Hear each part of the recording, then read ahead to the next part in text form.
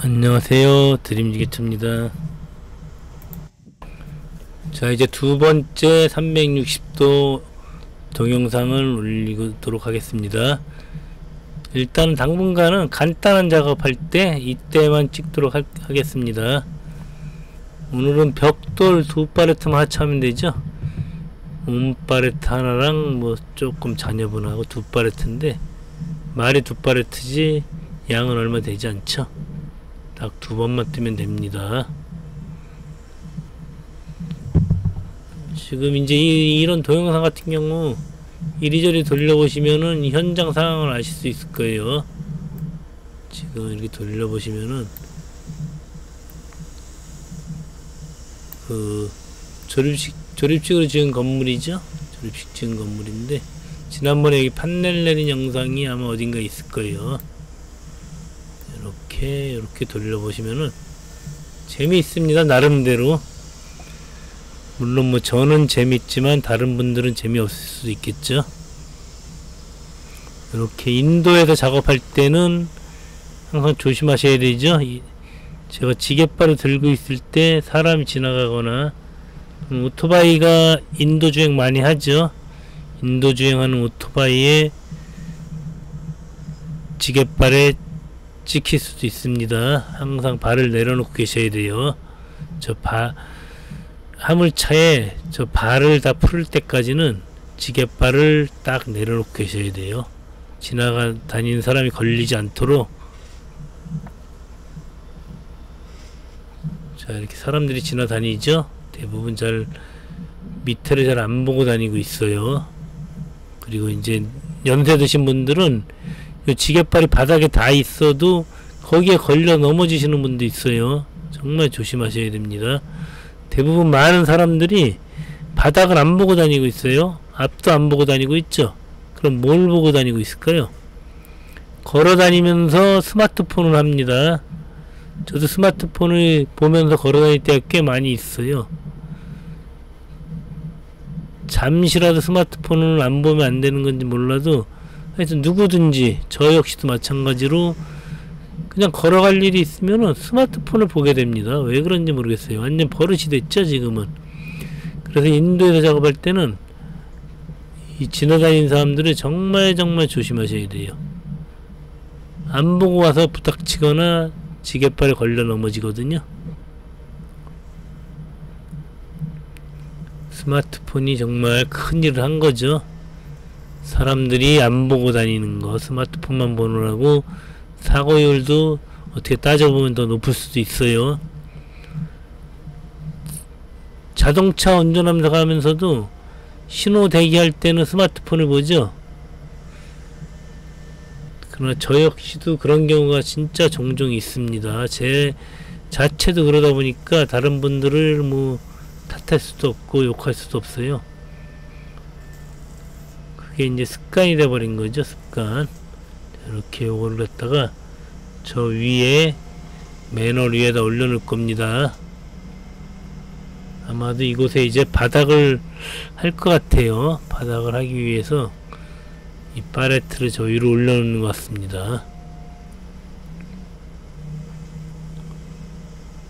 이렇게 한 파레트 여기다 올리고 작은 파레트는 또 요 벽돌 위로 올려놓을 거거든요.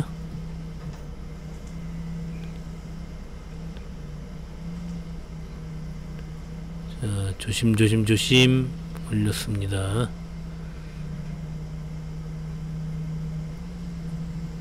이렇게 이제 360도 카메라니까 뒤로 돌려보세요. 뒤로 돌려보시면은 뒤에 또 어떤 상황인지 알 수가 있죠? 뒤에도 돌려보면은 이렇게 돼 있고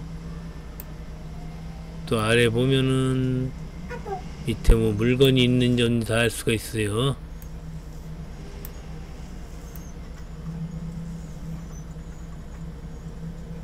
지금 이렇게 보시면 제 호스가 다 보이죠? 호스가 굉장히 겉, 피복이 다 벗겨졌어요. 이런 것까지 볼 수 있고 제가 평상시 못 보던 거 저 역시 볼 수 있으니까 굉장히 좋은 것 같아요.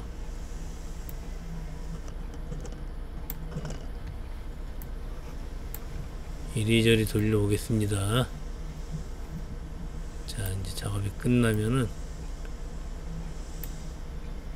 지금 왜 이러냐 이게 지금 쓰러졌었어요 거치대가 쓰러져 갖고 잠깐 방향이 이상하게 비쳤었거든요 자 거치대 다시 잘 탄탄하게 세웠습니다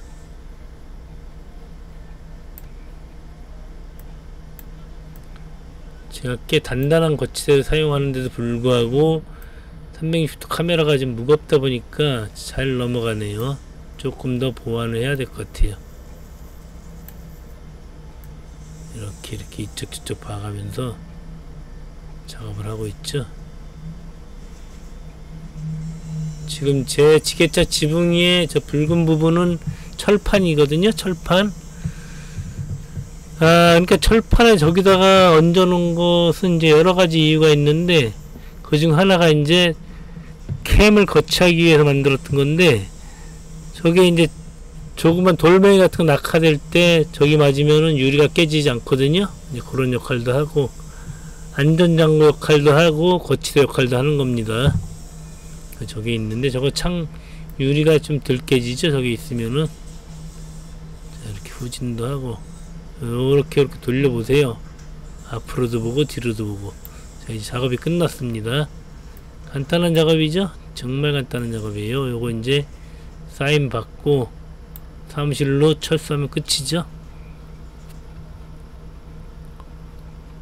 이렇게 이제 360도 영상을 편집하는 게 이제 조금 더 쉬워졌어요. 여러 번 하다 보니까 벌써 두 번째 하다 보니까 이제 조금 더 쉬워졌습니다. 이제 근데 이제 이걸 촬영할 만한 곳이 많지가 않아요. 사실은 이게 이제 영상 촬영한다는 게 요즘은 굉장히 부담이 되고 있거든요. 그리고 또 이제 지게차에 이렇게 거치대를 통해서 카메라를 휘황찬란하게 달고 다니면은 굉장히 호기심의 눈길로 많이 바라다 보십니다. 제 지게차가 내부를 보면은 모니터가 많이 달려 있잖아요. 그거 하나만 보고도 사람들이 지금 많이 놀래고 있어요. 아, 지게차에 무슨 모니터가 이렇게 많냐는 얘기를 정말 많이 듣고 있어요. 다 이제 필요해서 제가 달아놓은 건데, 생소하시죠? 사실은 이렇게까지 많은 모니터를 달고 다니는 지게차는 그렇게 많지가 않을 거예요. 모니터도 많이 달고 다니고, 카메라도 많이 설치되어 있는데, 또 이거 360도 영상을 촬영하기 위해서 뭔가 안테나처럼 뾰쭉 올라가 있으면은 더 많은 시선을 받게 되겠죠. 정말 많은 시선을 받습니다. 그래서 이제 그런 거 극복하고 촬영을 하다 보니까 쉽지가 않은 거예요. 어쨌든 오늘 이렇게 능곡 이곳은 이제 능곡 재개발 지구죠. 이렇게 오른쪽에 아파트가 새로 들어서고 있는데 이곳이 롯데캐슬이에요. 롯데캐슬. 지금 어쨌든 이제 오늘 동영상 여기까지 마치도록 하겠습니다. 감사합니다.